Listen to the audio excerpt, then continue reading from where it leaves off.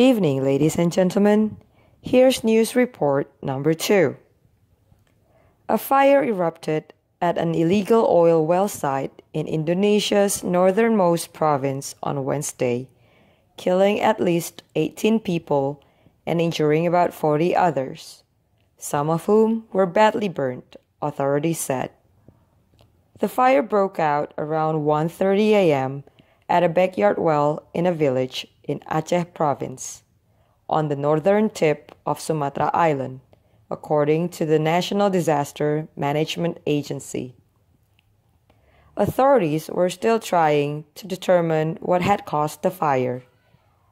Local news reports said it may have started with a spark from a blowtorch or a worker smoking a cigarette.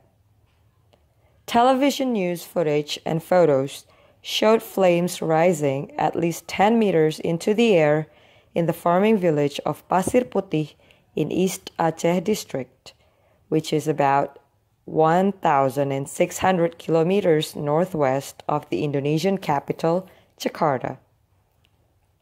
Villagers had gathered at the well shortly after midnight, carrying buckets, jars, and barrels in hopes of collecting crude oil after being told about a massive spill there, according to the disaster agency.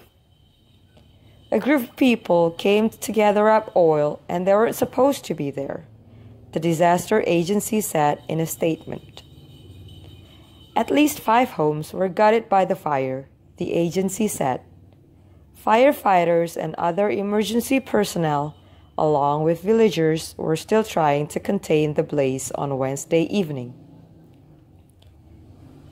Indonesia's Ministry of Energy and Mineral Resources and the state owned oil company, Pertamina, sent teams to Aceh, which has industrial oil and gas operations, to investigate the incident, said Agung Pribadi, a ministry spokesman. This is a case of illegal drilling, and the ones responsible for it must be dealt with by the law, he said. Agung said the well was being operated by local residents, adding that he was not sure if there were other illegal wells in the area.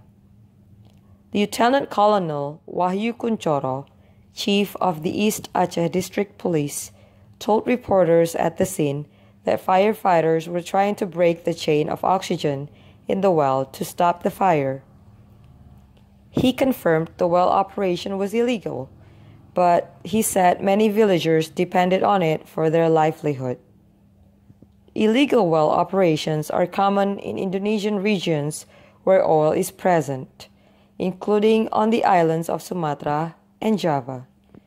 In some cases, the wells were abandoned by the Dutch colonial administration that once ruled Indonesia, and are now run by groups of villagers working around the clock.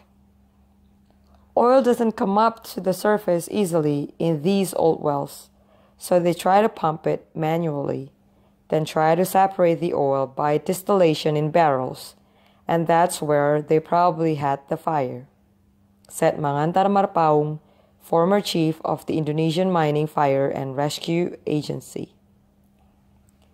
Then they sell it as kerosene to the local market or for motorcycles and fishing boats, he said. Those are their customers. The local governments know, but because they can't provide any other jobs, they look the other way.